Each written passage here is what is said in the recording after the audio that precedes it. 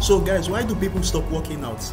You know, most times we set our uh, yearly record. We will say, "At this year, we have to be in the best shape ever."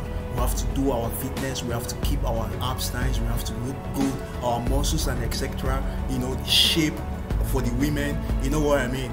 So why do people stop working out? We stop working out because we don't know these four main principles which I'm about to share to you. And most times we know it, but we are not putting it into practice. Number one, principle number one, you don't know your goal. Most times we know that we have to work out, it's necessary to work out, but we don't know, like, we don't analyze what kind of workout, what kind of exercise is needed. Some people want it for weight loss. You don't know what exercise is needed. You don't know the goal. You don't know how to follow the procedures to follow. That is why you often feel like it's not working. The exercise you're doing is not working to what you're trying to achieve. That is the issue. We need to analyze our goal. We need to know the exercise which is needed for this, and it will be very effective if we are doing it perfectly and you will see the results. You should analyze your goal, check on your exercise. Principle number two we make it very complicating. Very, very complicating, guys. That is the issue. Most times we go to the gym where we're lifting the weights for the bicep right now, and next minute you see somebody pushing the chest. Next minute you see somebody running or jogging. Next minute you see somebody doing the abs crunch. It's very, very complicating, and that is the issue. And we should try to stop making it complicating. How can we stop making it complicating? So, I was working out one time in gym at one time in gym, somebody approached me and the person told me, uh, Doctor, uh, I'm kind of confused here. I don't know where to go. I don't know what to do. I'm just confused what to do and where to go. I was like, okay, what is your goal of coming to the gym today? And she told me she want to keep herself fit. I say, keep yourself fit in what sense? She said she wants her abs, she wants her hips, she wants her um, fitness level in a cardiorespiratory way. I said, okay, it's simple. Divide this into different sessions. And we have one principles in physical fitness which talk about this. We call that principle principle of periodization. And it helps us strategize what to do today, what to do tomorrow, or we can make it what to do this month or what to do next week, or depending. So in this, I told her today you're, you're starting right. She said yes. I said go to the treadmill. Today all you do is jogging. Jog for five minutes, take some rest. Another five minutes, take some rest, and do the third set of five minutes, take some rest. Then you can do other relating stuff like lunges and skipping, and that is the end of the day.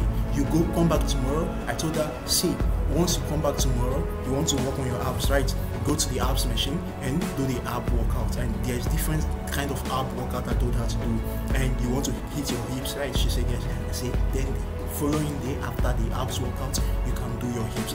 Then after you've done this chain, then if there's any other thing you think to work on, you tell me, I'll tell you how to place them and I'll tell you the exercise to do for them in a very strategy and less complicating way. And after you've done this throughout the week, you can come back next week and start from the jogging again to the end of the day. So we know we make it very complicated in the sense whereby we want to do everything one day and it will be very complicated for us. That is why we tend to quit gym. Reason number three, guys, we think about the picture and we want to just get there in a snap of a finger. It does not happen like that, guys. Remember when you want to start your school, you started from class 1, class 2, class 3, class 4, class 5. If you go to the university level, you have to start from class 1, class 2. You can't skip from class uh, 1 to class 5 immediately. It does not work like that. It's a step by step process. And that is what I'm trying to say here that if you want to uh, keep going to the gym and make it work for you, you have to think of starting.